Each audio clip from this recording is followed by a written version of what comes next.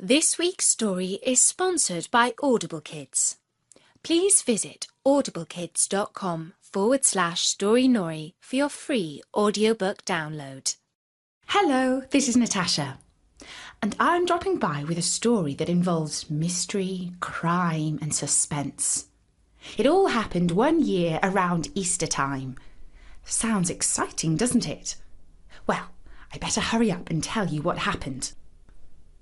But before the story, I'd just like to explain why we can't do all the stories that listeners sometimes ask for. For instance, lots of people would like me to read stories by Roald Dahl, who is one of my absolute favourite children's authors.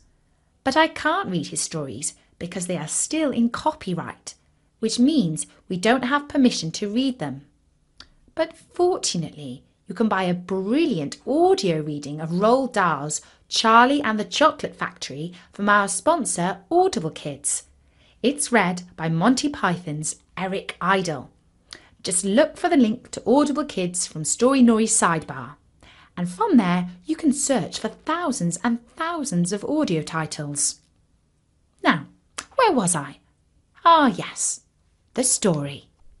It was Shrove Tuesday, otherwise known as Pancake Day. The city mayor was sitting up in his bed eating his breakfast. A big pile of pancakes with black caviar and sour cream, washed down with champagne. Black caviar, in case you don't know, is an extremely rare and expensive food. With each spoonful, you eat a thousand little beady black eggs of a mighty river fish called the sturgeon. If you tried it, you might not even like it.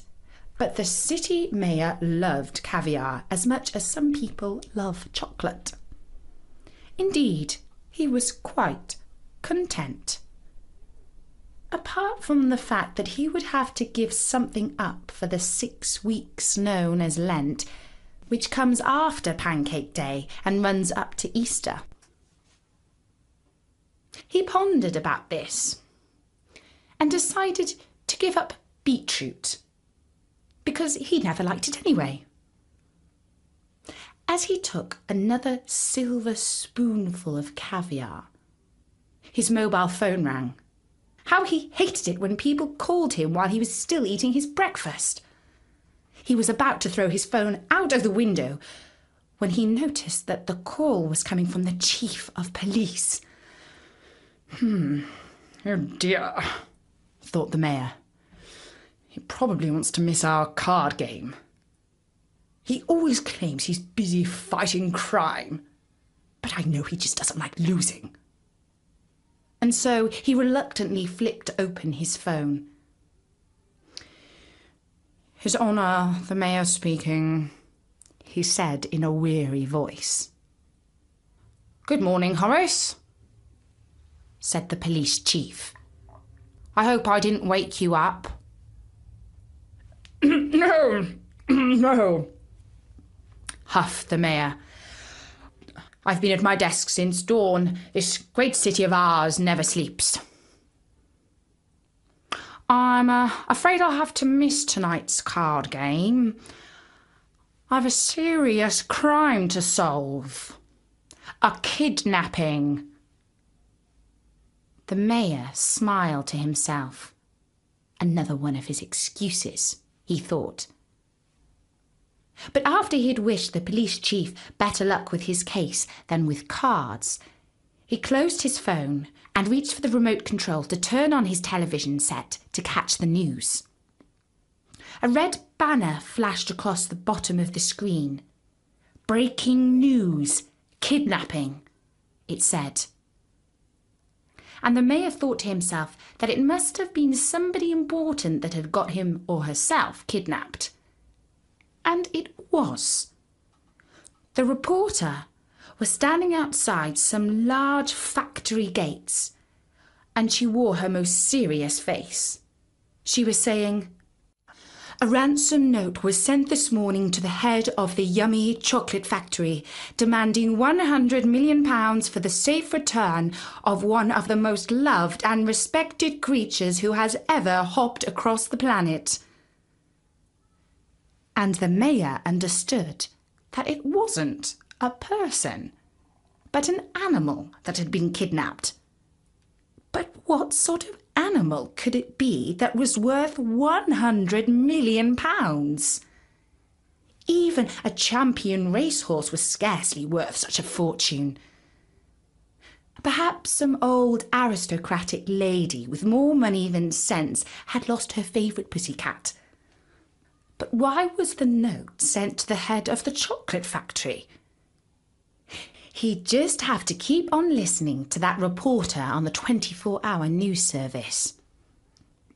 And joining me now is the president and CEO of the Yummy Chocolate Factory, Sir Percival Yummy.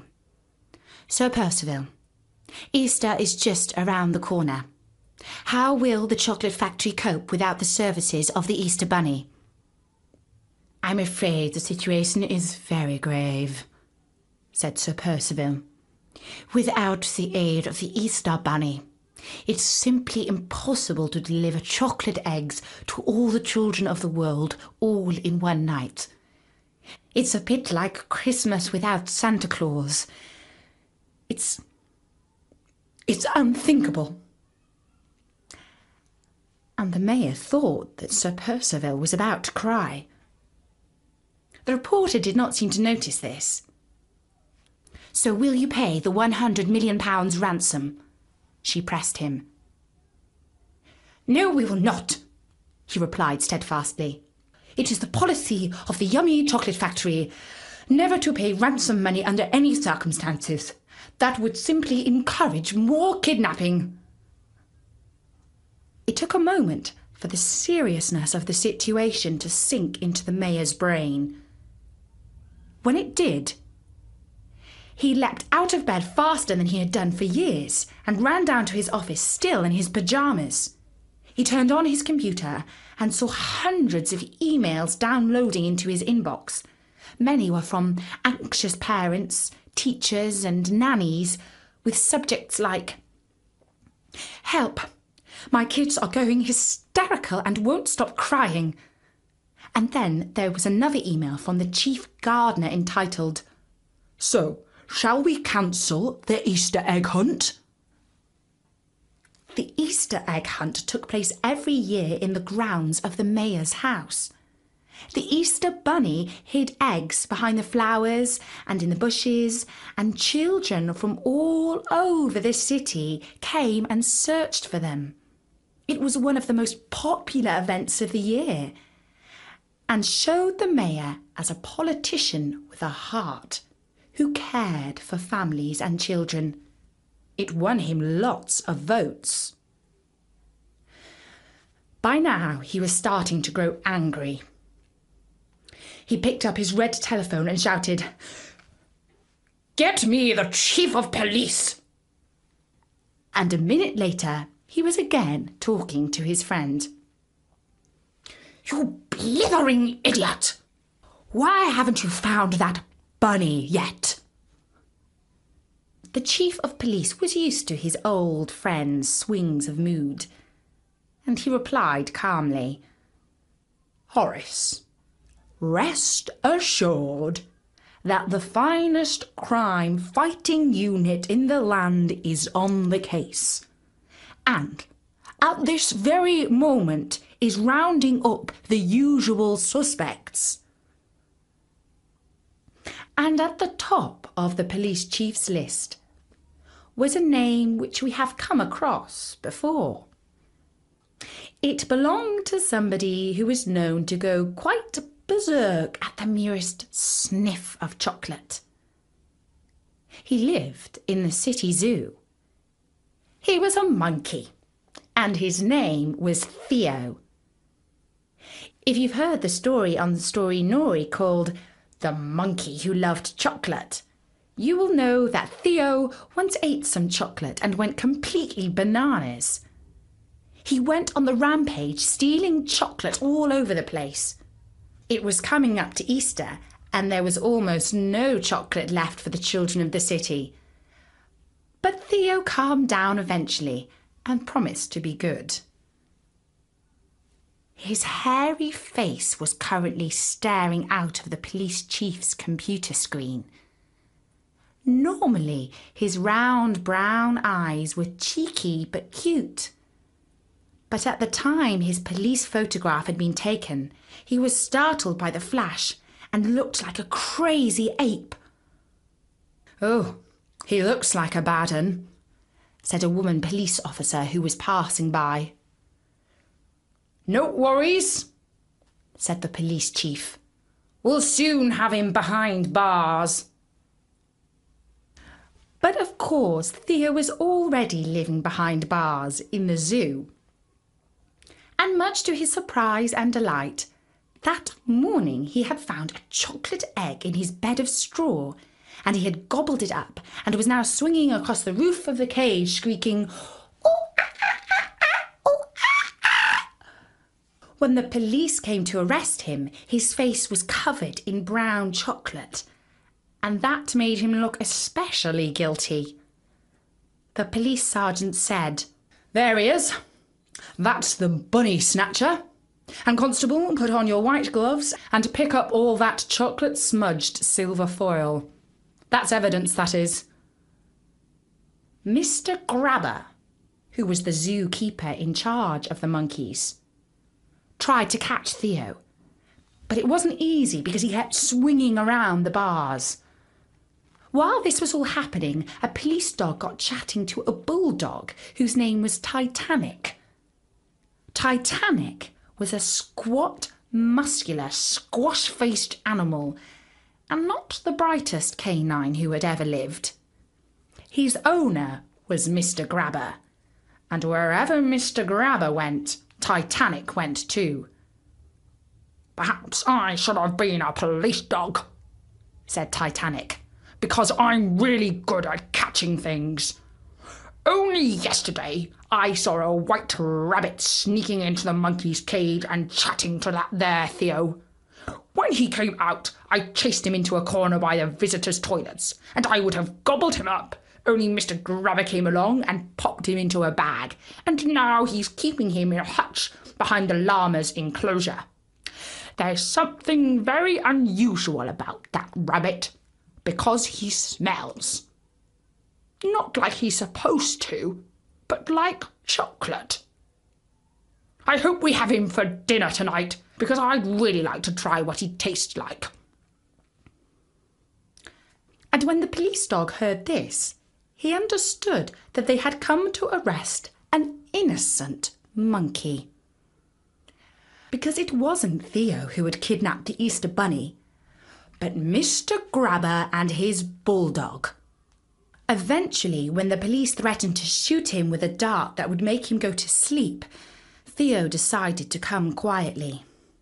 He was put under arrest, handcuffed, loaded into the police van, and driven away at high speed with the blue light flashing and the siren going dee dee dee dee dee dee dee dee dee dee dee when they got to the police station, Theo was led into a cage. But unlike the cage at the zoo, this one was small, dark, and not very nice, because it was a police cell. Theo screeched, Help! Let me out! I've been framed! But the police officers could not understand. All they heard was, Eek! ah, ah. An hour later, the mayor was standing on the lawn outside his office and talking to the reporter from the 24 hour news station.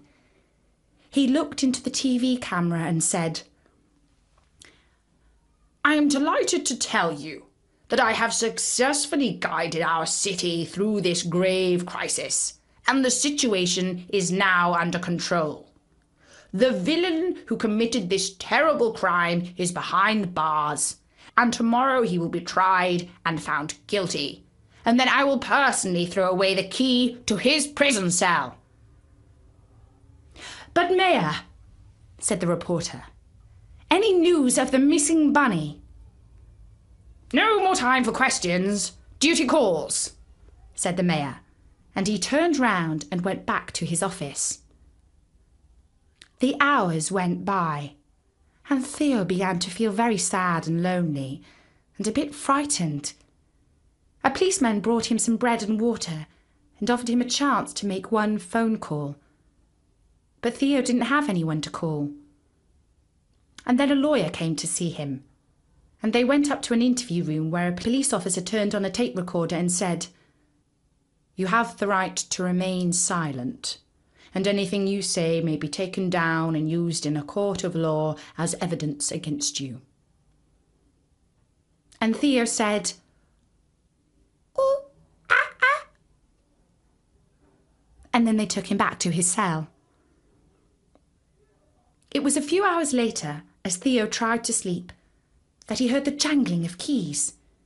He buried his head in his pillow and pretended not to notice. Then a gruff voice said, Come on, wake up. It's time we sprung you out of here. He opened his eyes and saw that it was a police dog with keys in his mouth. In a jiffy, Theo had sprung up, reached through the bars for the keys, and climbed up to get the lock open. Monkeys are highly intelligent primates, you see, and it's not at all difficult for them to do such things. Put on this blue coat, said the dog. It was a sort of jacket that police dogs sometimes wear. The word police was written on the back. Theo put it on. Now, try and act like a police dog, said the dog. But as they walked together through the busy part of the station, a policeman said, I didn't know we were using monkeys on the force. And another policeman said, I expect he's in line to be the next chief constable. Still, nobody stopped him, and soon they were out on the street and running down the road. On the corner, they paused for breath and the dog explained what he had heard about Mr. Grabber kidnapping the Easter Bunny. I might have known it, said Theo. He's a royal villain, is that Mr. Grabber? Because you see, this wasn't the first time that Mr. Grabber had tried to involve the animals in his criminal schemes. But the important thing now was that Theo knew where the Easter Bunny was being kept prisoner at the back of the llama pen. He caught a 49 bus straight back to the zoo and was soon able to find his old friend and release him from his hutch. I don't need to tell you how glad the Easter Bunny was to be set free. Not least because it was his busiest time of year and he had so much work to do before Easter. He would have just loved to go straight to the police station and tell them all about Mr. Grabber. But he couldn't do that because, well, he was a bunny, you see. So he ran straight back to his secret hideaway to catch up on sorting out his Easter eggs. The next morning, the mayor sat up in his bed and turned on his television set to see if there had been any developments overnight in the case of the missing bunny. A red banner flashed across the screen saying, Breaking news Monkey escapes. And the reporter was saying, The chief suspect in the case of the missing Easter Bunny has escaped from police custody. The mayor rushed down to his office and was about to pick up his red phone and demand the immediate sacking of the chief of police when he noticed a little envelope on his desk.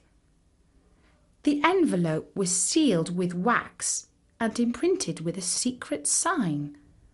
A sign which very few people know and recognize. But fortunately, the mayor was one of them. It was the seal of the Easter Bunny. And every year he used it to communicate with the mayor and to arrange the annual Easter egg hunt.